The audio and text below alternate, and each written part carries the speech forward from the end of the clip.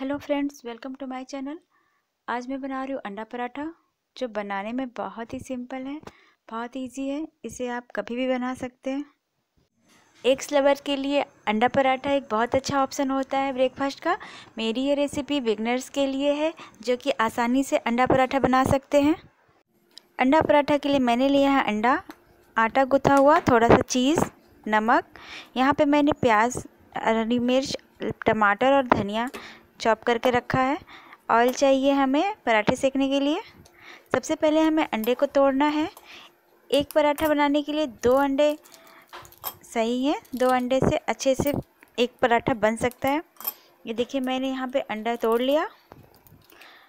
अब मैं इसमें मिलाऊँगी नमक। ये नमक मिलाया मैंने।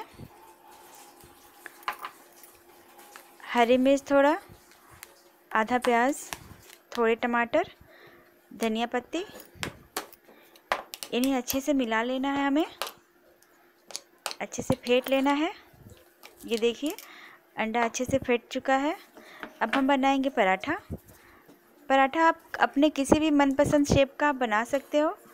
बस लेयर के लिए हमें ध्यान रखना है कि हमें उसमें लेयर आनी चाहिए।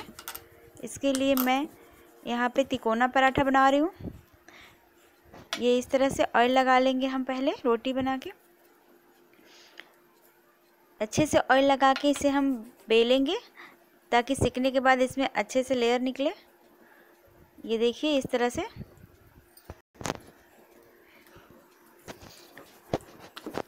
ये पराठा बेल लिया मैंने। ये देखिए इस तरह से। तवा गरम हो गया गैस पे, पराठा डालना है।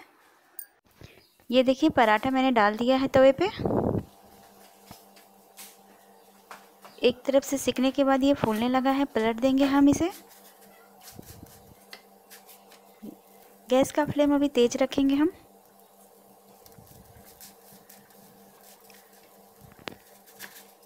दोनों तरफ़ से बराबर सेक लेंगे हम।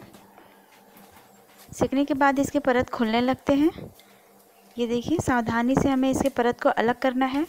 आप इसके लिए चिमटे से हेल्प ले सकते हैं। अब इसमें डालूँगी मैं अंडे का मिक्सचर। ये इस तरह से।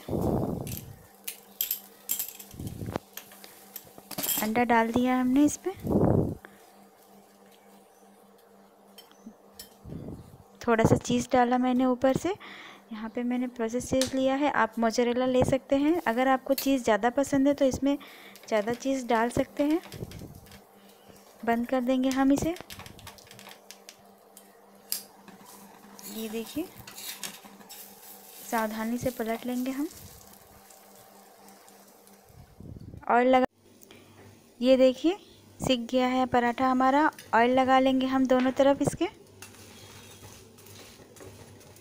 ऑयल या बटर जो भी आप पसंद करते हो, आप इसे लगा के दोनों तरफ़ गैस का फ्लेम कम करके सेक लेंगे बराबर से। अंडा अंदर से पक के फ्लपी हो रहा है। ऑयल लगा लेंगे अच्छे से। ये देखिए, ऑयल लगा के आप बटर भी लगा सकते हैं। ऑयल लगा के हमने दोनों तरफ़ से बराबर सेकना है इसे।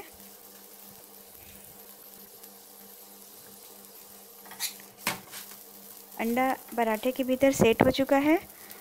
पराठा काफ़ी फ्लपी हो गया है। उलट पलट के हमें सेक लेना है दोनों तरफ़ से। गोल्डन ब्राउन, ये सीख गया है पराठा हमारा। अब मैं इसे निकाल लूँगी।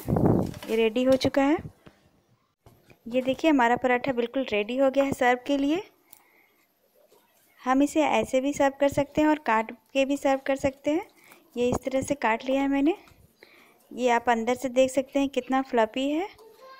अब आप इसे मनपसंद चटनी सॉस के साथ सर्व करिए। इस तरह से सर्व कर लेंगे हम पराठे को अपनी मनपसंद चटनी या सॉस के साथ। अगर आपको मेरा वीडियो पसंद आए तो प्लीज़ लाइक करिए सब्सक्राइब करिए मेरे चैनल को।